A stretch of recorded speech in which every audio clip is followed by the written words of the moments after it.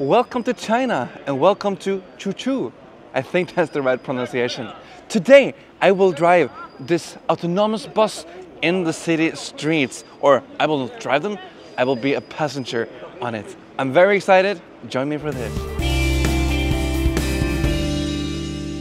I am in China and I will now go out on the roads with a full 12 meter sized Yutong bus. And this is fully autonomous. And we will now check this out in a regular city traffic street. I'm really, really excited to see how this feels and works. And this is the first autonomous project in China. So this is very, very exciting. And don't forget to follow us on Instagram. I promise you to show you some great photos there as well of the buses.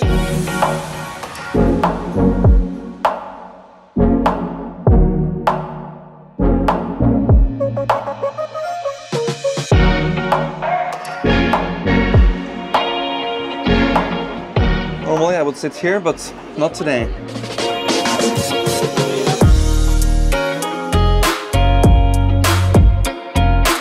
That man is actually the driver, so the bus is going to the station to pick up not the passenger, but the driver. Okay, let's start our journey today. Then we have a driver, that's good. Good morning, everyone. And this bus is going to drive into the Longhu Financial Island. Uh, this island is our first, uh, is also first autonomous driving uh, project in China. And this journey takes about 15 minutes. Everyone, please stay, please sit still. Currently, there are five levels autonomous driving skills. Uh, this one is level in level three, which can do the super cruise, uh, autonomous obstacle avoidance, and road and vehicle signal priority function. And this function is very is amazing and will be showed later. And let me give an introduction about this vehicle. This one we Yutong call the Black King Kong. It is a 12 meters pure electric bus with a range of 350 kilogram. Uh, sorry, kilometers. As you see the screen, uh, the driver's hand is on his knee. It's, it's not on the steering wheel.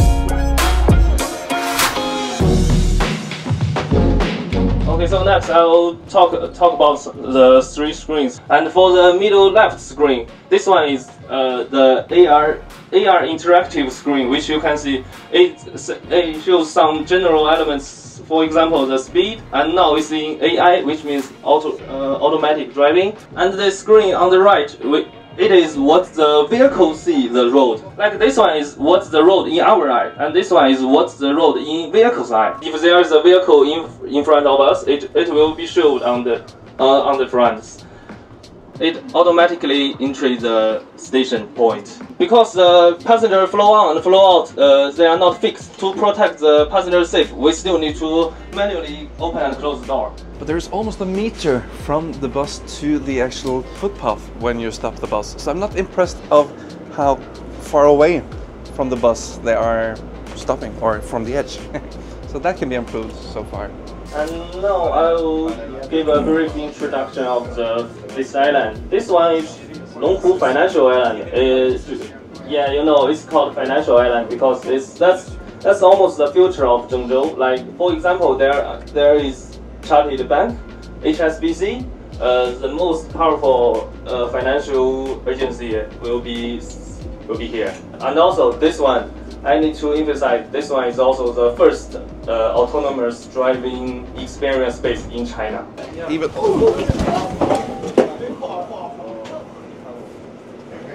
Let me ask. that was a quick stop. So now we're coming back to the depot. Yeah, smooth ride, except the one very hard brake. Distinguished guests, now let's come into the unmanned station control center.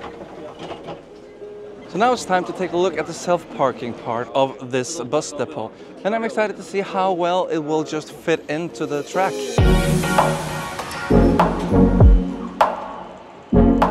Everything is done with so high precision.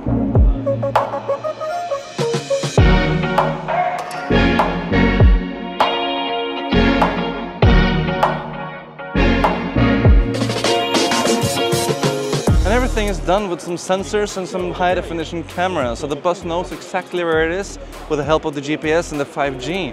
Wow, Uh, first, so firstly, let's have a look the auto charging. You see, the charging panel is like slowly come, come out, and now it's auto charging. But also, this vehicle has a plugged-in uh, charging option. So now we are done here with the first autonomous test drive project in China ever.